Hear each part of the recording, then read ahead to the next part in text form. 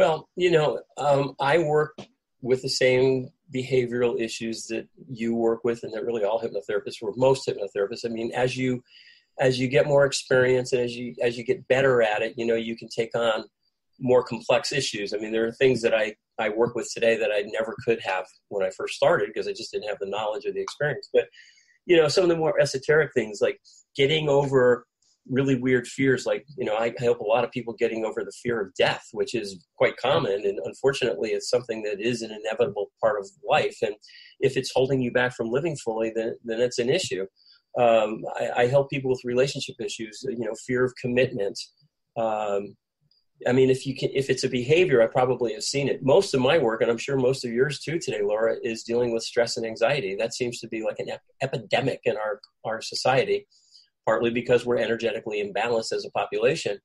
Um, and that anxiety can take so many different forms. Uh, you know, everybody hangs their anxiety on a different hat. And so they can be pretty esoteric and interesting.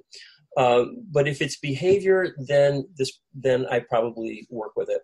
And a lot of, you know, and we should mention, and I know you do this too, hypnotherapy isn't just helping people get over limitations or issues, it also helps people that are doing well do better. Because yes. so I work with a lot of you know I'm out in LA, so I have the I'm right in Hollywood, not in Hollywood, but I'm I I and I used to be a working actor. I work with a lot of actors, writers, musicians, producers, directors, uh, dancers, athletes, all levels, different sports.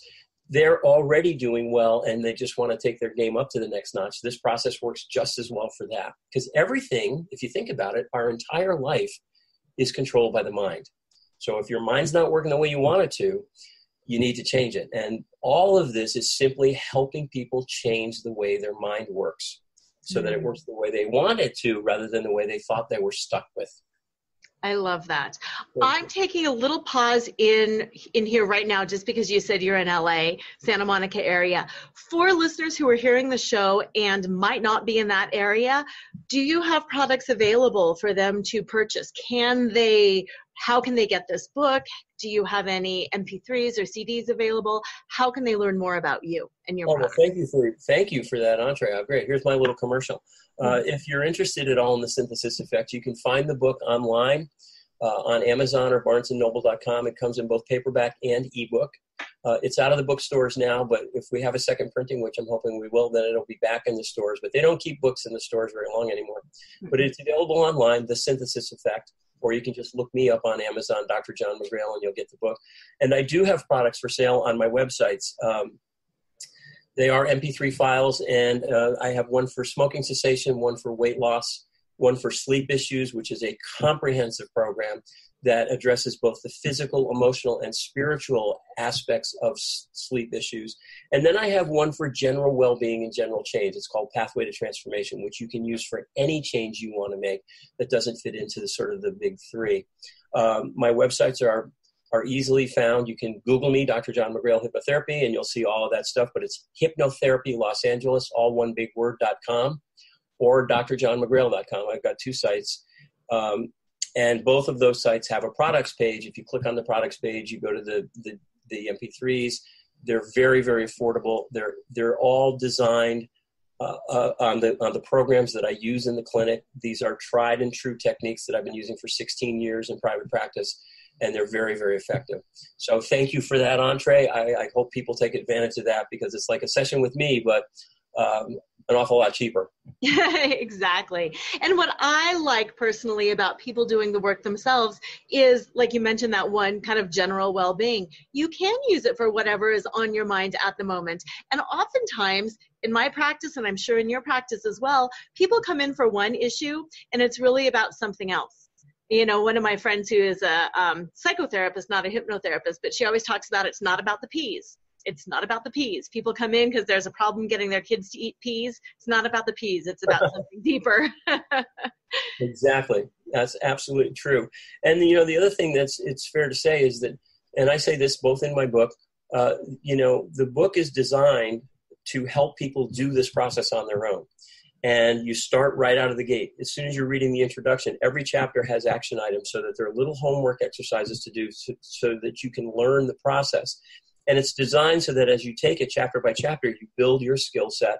And by the end of the book, you're doing full blown synthesis. But I also say, and that includes the do it yourself programs, some people need more assistance. And if you do, there's an appendix in the book that's a guide to helping you find the right professional help.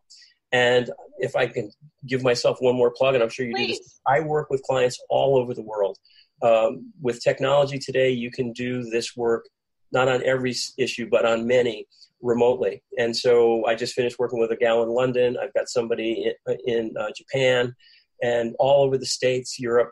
Uh, you know, all you got to do is figure out the time zones. You can still do this work very powerfully. So if you find that you need a little extra help uh, and you can't find someone in your area, there are always remote sessions possible.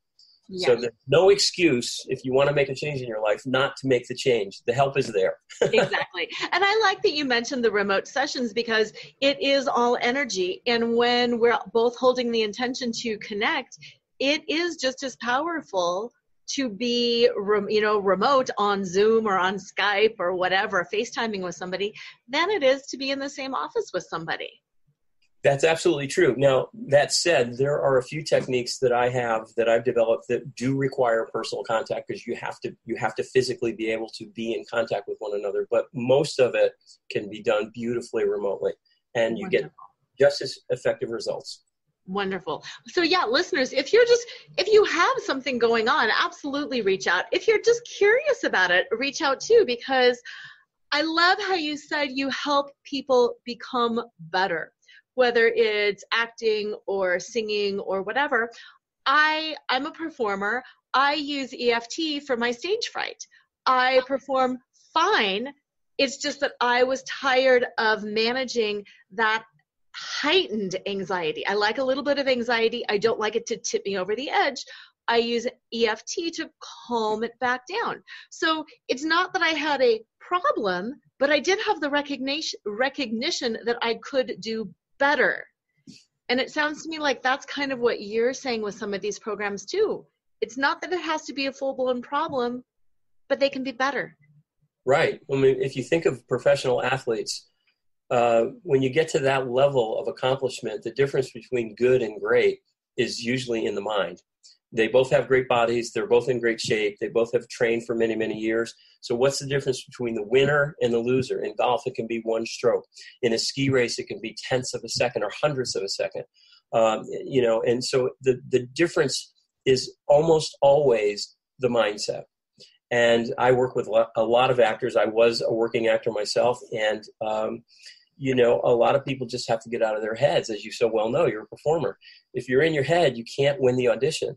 You have to be able to get out of yourself. And this process works so well for that kind of stuff, for performance enhancement. And I really, I enjoy that as much as helping people solve problems, is watching people that are at the top of their game get to the next level. It's just very, very cool. I bet. Now, what are some of these other tools that you do? Because I know you've done EFT.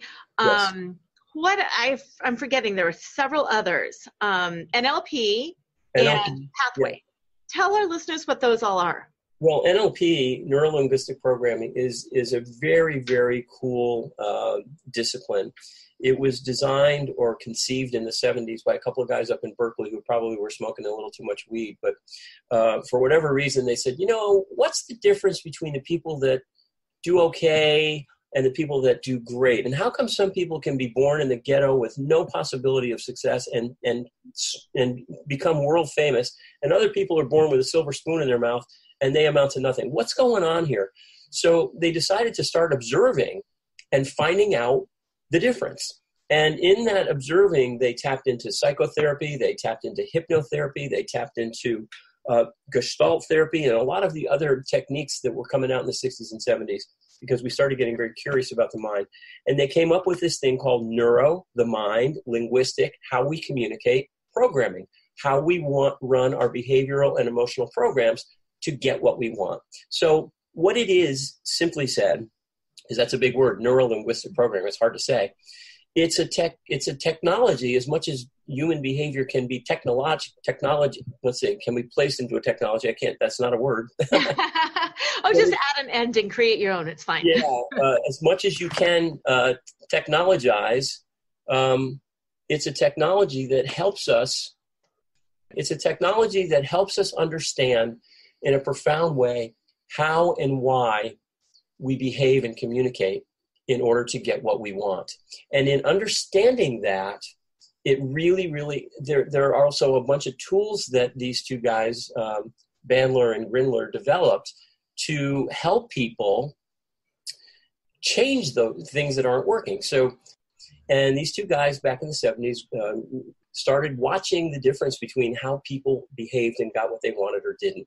And they developed this sort of methodology for understanding. And along the way, tapping into psychotherapy, hypnotherapy, gestalt therapy, um, they developed tools and techniques to help people create changes in their strategies. The theory is that everybody has a strategy for everything they do. For instance, real quick, say you and I want to both buy a car and we both want a new Mini Cooper. Now, you may say, okay, I'm going to go online. I'm going to build my Mini Cooper on their website. I'm going to go to the dealer and I say, okay, here's the car I want. Do you have it? The dealer says, yep, there it is. And you say, okay, I'll buy it. I, on the other hand, have to go to the dealer and I have to look at every single car on the lot until I find the one I like. Now, we both drive away with a Mini Cooper, but how we did it, our strategies for obtaining that goal are different. And so NLP helps us understand an individual's given strategies, whether they're working or not working, and then through the tools they devised, change those strategies so that we start getting the outcomes we want rather than the ones we don't want. That's the essence of NLP. And of course, EFT is very, very popular now, and I've been I've been using it. I think I got certified about 15 years ago. Um, it is using tapping on acupressure points getting back to the theory that all we are is energy and our mental and physical well-being or not well-being is determined by our energy flow or blockage. If we're not feeling good physically or emotionally there's a blockage in the flow of energy. So we tap on certain points of the body to unblock the energy and get it flowing again and as you so well know it can work extremely extremely well now nothing works perfectly for everybody which is why it's nice to have a whole bunch of different tools to use. Yes, uh, thank you for saying that. That is such a powerful statement for people who have said, I've tried some of that woo woo stuff and it doesn't work. yeah. Well, first of all, it's it's most of it's not woo woo because now the science behind it is is very evident. The the discoveries that have been made in in fields like neurophysiology and uh, epigenetics and uh, quantum physics and wave theory, the discoveries that are now scientific fact, which used to be woo woo, just like you know going to the moon used to be woo woo, but we did it. Uh, yeah. It's not woo woo anymore. Now we're understanding so much more about the basis of humanity, the basis of behavior, the basis of our very existence, energetically, uh, that these tools are simply methods to tap into what's already going on. So, um, you know, people say, well, I tried that. And I get that all the time. Most of my clients, by the time they come to see me, say, well, I've tried everything, nothing's worked. And I say, well, okay. And then three weeks later, they say, geez, why didn't I call you first? I don't know. yes. But yeah, there's no silver bullet. There's not one technique. Hypnosis doesn't work well for everybody. Nlp doesn't work well for everybody. Eft doesn't work well for everybody. But there are so many cool techniques if you take the time to learn them that uh, and, and again this is partly experience and training and you just you know learning. That's why i did the phd for four years. But there's almost always something that will work. You just have to find the right path for a given individual Yes. One of the analogies that I like to use, and you know, people either love my analogies or hate them. So, hey, I'm just going to put that out there. is cooking methods. Sometimes you microwave something and it just doesn't cook right. You need a real oven, not a microwave.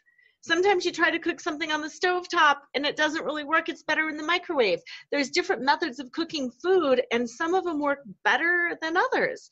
And I like that analogy just because it's concrete and because people can relate to not being able to cook something well in the oven that needs to be sauteed on the stove. And it's the same way with our state of mind. Sometimes one thing works better than something else. Sometimes it can give us a subpar result.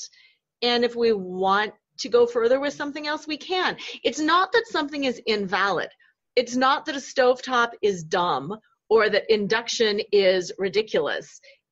it's a different method for a different reason, for a different person, for a different purpose. So have some fun and explore these different